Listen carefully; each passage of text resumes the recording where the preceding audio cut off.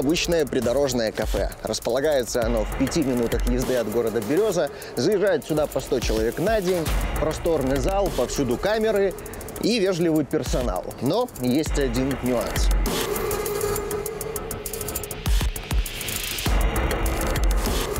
Здравствуйте, скажите, пожалуйста, есть ли здесь какое-то место, может быть, отдельный зал, где можно посидеть э, вдали от посторонних глаз? Есть. А мы можем туда пройти? Если вы зашли в кафе и кроме барной стойки и столиков ничего не увидели, это не значит, что здесь больше ничего нет. Неожиданно перед нашей съемочной группой вдруг распахиваются все двери с табличкой «Служебный вход». Заведующая заметно нервничает, но все-таки отводит в вип-комнату с убранствами. Вы не хотите больше разговаривать? У меня просто один вопрос. Эм, мог ли обычный посетитель сюда попасть? Ну, в принципе, да. Любой. Ну, не все. А каким образом решалось, кто может сюда попасть? Руководители. То есть это решал руководитель. И весь фокус в том, что нас никогда в жизни не пустили бы в этот зал. Персонал согласился на экскурсию, зная, что их шефа взяли за коррупцию. В противном случае, после таких прогулок, любой работник точно оказался бы на улице. А Он один здесь такой зал? один. А вы можете показать?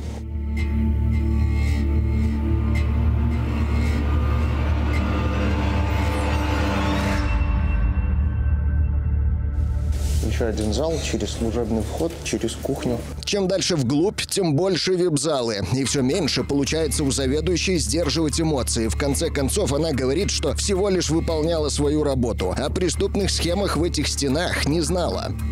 Он вас в это не посвящал? Просто звонил, например, говорил, что будет с кем-то встречаться, чтобы был подготовлен зал. По словам заведующей, после задержания босса шокирован весь персонал. Поэтому мы никого не показываем. Но кто же этот большой начальник, который, как в лихие 90-е, заезжал обкашлять вопросики в випку придорожного кафе? Выходим на улицу, читаем. Кафе «Ампир» принадлежит Березовскому мясоконсервному комбинату. Предприятием руководил гендиректор Владимир Жукович. О нем и речь. Добрый день. Любовь МВД, первое управление милиции. Представьтесь, пожалуйста. Фамилия, имя, отчество, дата рождения. Полковник Владимир Владимирович, 18 число по 60. Должность ваша. Генеральный директор Березского консервного Где вы сейчас находились? В Ампире находился. С кем общались? С э, Сергеем Парфимовичем. Что получили от него? Получил день. Сколько? Сумма. Не считал. Во внутреннем кармане пиджака оказалось 22 тысячи рублей. Пачку двухсоток получил за заключение договоров с компанией Mitrade Invest на поставку пищевых добавок для комбината. Проще говоря, коммерсант давал Жуковичу взятки, чтобы тот закупал у него специи. Давал прилично, не менее 7 тысяч рублей раз в квартал и так минимум с 2015 года. Речь идет о сотнях тысяч. Партнеров по преступной схеме взяли сразу после передачи денег. Убираем у него объеду встанут, чтобы он не дергался. Блокируем сюда. Без резких движений. Орликов Сергей Парфимович. Место работы. Учредитель. Продовольствием занимаетесь? Авто. Все понятно. Откуда едете? Еду с просто с той стороны Откуда едете? Конкретное место. Березы, Предприятие какое? Березовское место. С кем встречались? По встречался лучше. Это? Значит, задаю вопрос один раз. Добровольно о фактах совершенного преступления хотите заявить? Если вы сейчас заявляете добровольно, вы можете быть освобождены от. Задачу взятки в том числе.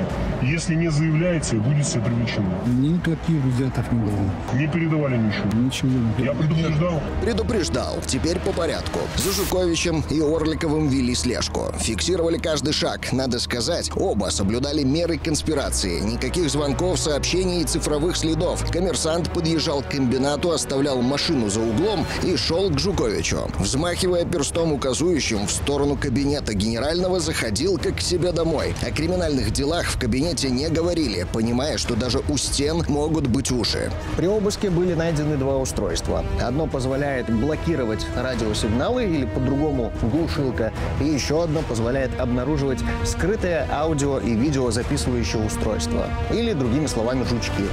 Обнаружили их здесь. А еще здесь нашли целых три выхода на улицу. Первое замаскировано под шкаф, и еще два вот в этой скрытой комнате. Вот первая дверь, ведущая наружу. Кстати говоря, свой личный тренажерный зал. И еще одна дверь, которая позволяет выйти на территорию предприятия.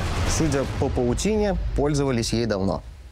По иронии судьбы, ни одна из этих дверей не помогла начальнику мясокомбината уйти от закона. Не пальцем пиханная преступная схема заключалась в том, чтобы в разное время приехать в кафе «Ампир» и там уладить денежные вопросы. Орликов первым покидает территорию завода. Жукович спустя полчаса едет следом. И один, и другой меняют маршруты, петляют и ускоряются на случай слежки. В кафе попадали аки-призраки.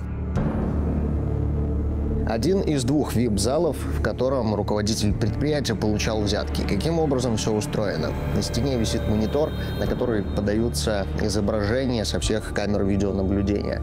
Одна камера снимает кассу, барную стойку, две камеры снимают зал, вход, но только с внутренней стороны, но нет ни одной камеры, которая снимала бы вход в это помещение мы прямо из этого кабинета можем выйти на улицу и абсолютно незамеченным покинуть территорию кафе.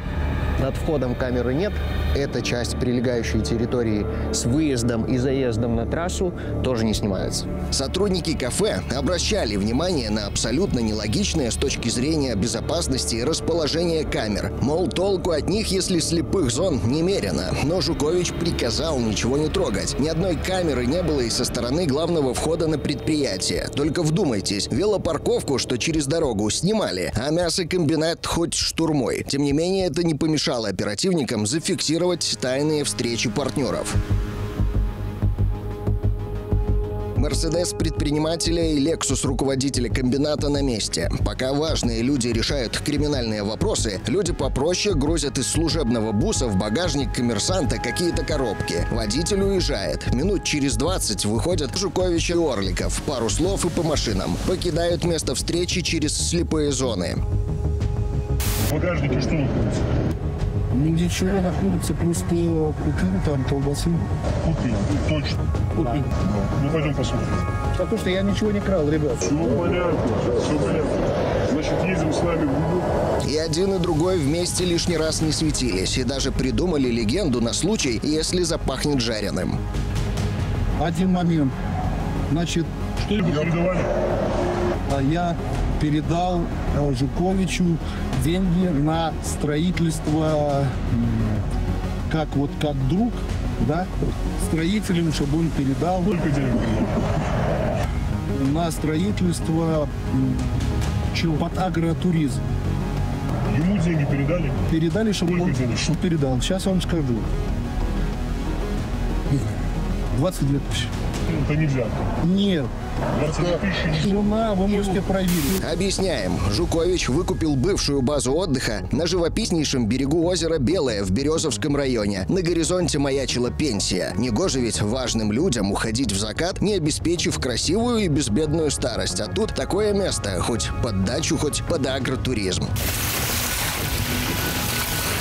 Жуковичу, как госслужащему, заниматься коммерцией запрещено. Оформили все это на жену Орликова, дабы не отсвечивать. И договорились, если попадутся с поличным, скажут, что никакая это не взятка, а деньги на реконструкцию базы. Один попросил другого передать строителям, мол, что тут такого. Но оба слили легенду в первые полчаса. За что деньги получили? За заключение договора. Договоров чего? Ну, поставка продукции. Какой компании? Витрейт. Метрейт. Поставку э, в адрес вашего предприятия возглавляемого, да? Поставка в адрес предприятия. Готовы вы добровольно выдать? Это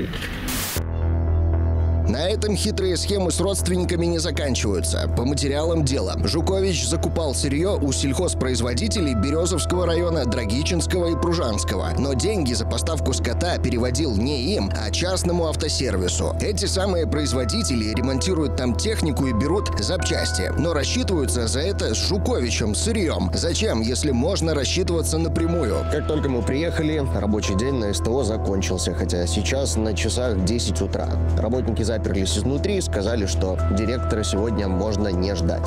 Дело в том, что учредитель автосервиса – сын гендиректора Березовского комбината. Что это, если не лоббирование интересов? Сейчас выясняют, действительно ли Жукович требовал у хозяйств заключать трехсторонние договоры и не закупал сырье у тех, кто отказывался. Ведь у кого-то он авторитетом пользовался, других этим самым авторитетом давил. 16 лет в должности, как-никак. Относительно э, людей ближнего круга, скажем так, э, никаких вопросов не было, нареканий, но со стороны людей, которые работали в цехах, поступали негативные характеристики в отношении него как руководителя, в части предвзятости отношения к их трудовой деятельности и так далее. Так для кого тогда проводились все эти бесчисленные заседания комиссии по противодействию коррупции, которыми пестрит новостная лента сайта Березовского мясоконсервного комбината? Собрания, пламенные речи о том, что нельзя выносить палку колбасы и параллельно между собойчик с коммерсантом, который дает на лапу. Парадокс. У действительно эффективного руководителя в какой-то момент произошла подмена понятий.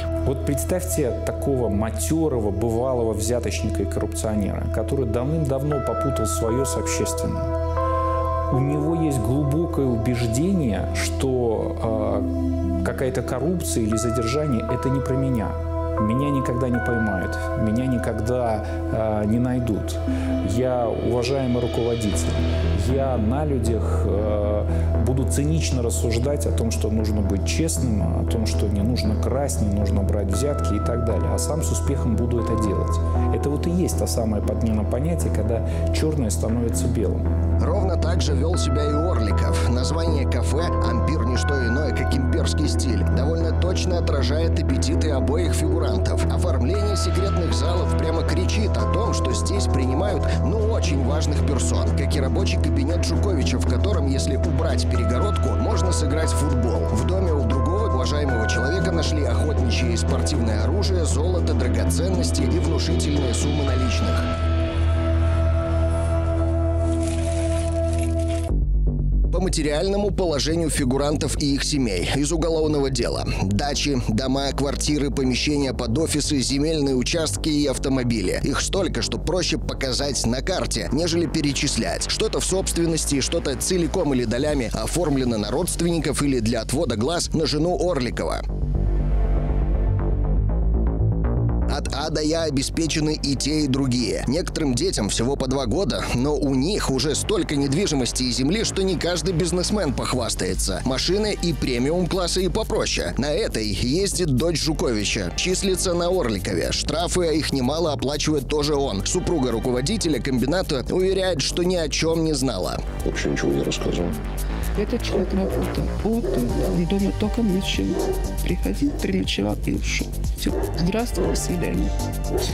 Так жил всю жизнь. Время, место, методы конспирации, все их ходы были просчитаны. Взяли предприимчивых людей, что называется, на расходе, со взяткой в кармане. После задержания Жуковича при получении взятки, значит, последним даны признательные показания в совершении указанного преступления. Признательные показания также дал и сам Урликов. В настоящее время сотрудниками ГУБОП во взаимодействии со следователями проверяется причастность Жуковича к получению взяток от представителей иных коммерческих структур. Считали, что не попадутся, сейчас считают, через сколько лет выйдут на свободу. Одно дело, когда тебе 45-50. В этом 66 как уже. Ну, ладно, я перевел. Это вот самое страшное, все остальное все. Что подавил страшно, по здоровью, семью запустил. Такая улика где тут тоже. На месте, и что он просто А Орликов рассказывает все. И не только о Жуковиче.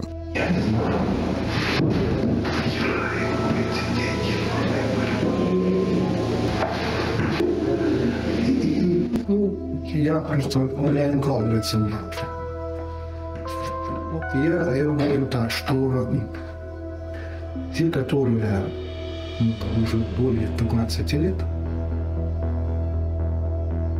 у них вы просто так их.